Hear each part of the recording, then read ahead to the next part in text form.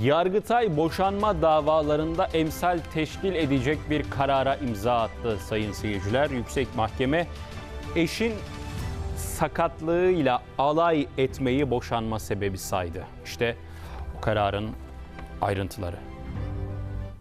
Eşinizin fiziksel kusurlarıyla böyle dalga geçer misiniz? Hayır geçmem tabii ki. Yani dalga geçmek amaçlı değil ama tabii tiye alınabilir bence bunlar normal. Peki boşanma sebebi olur mu? Hayır, hiçbir zaman. Eşinin sakatlığıyla dalga geçti. Yuvası yıkıldı. Bu artık e, hem bir manevi zarar hem bir kişide aşağılanma hissi yaratıp hem de evlilik birliğini çekilmez bir hale getirmiştir. Her türlü yani fiziksel özellikler dalga geçerse boşanma sebebi olabilir yani. Yalova'da severek evlenen çiftin arasına iş kazasıyla gelen sakatlık girdi.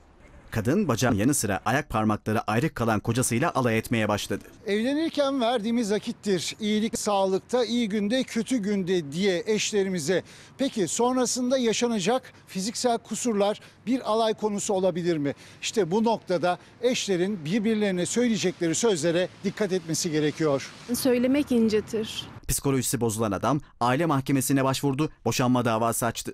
Ancak yerel mahkeme gerekçeyi yeterli bulmadı. Çifti boşamadı. Yani şaka mahiyetiyle söylenmiyorsa ve bu kişinin açık ve ağır bir şekilde bundan e, hasar aldığı, zarar aldığı e, göz önündeyse zaten bu hukuka aykırı eylemi gerçekleştirmemek gerekir. Sadece evlilik birliği için düşünmeyelim biz bunu. 45 sene ol- olduk ama adamın saçı döküldü. Bırakayım mı?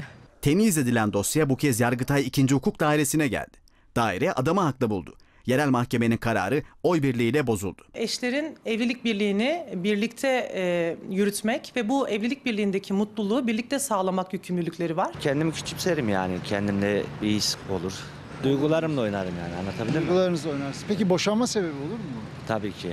Gerekçe bu şartlar altında eşleri birlikte yaşamaya zorlamanın kanunen mümkün olmadığı belirtildi. Karar benzer davalar için emsal olarak kayıtlara geçti. Kişilik haklarına ağır ve açık saldırı niteliğindedir. Bence insanlık dışı olay olur.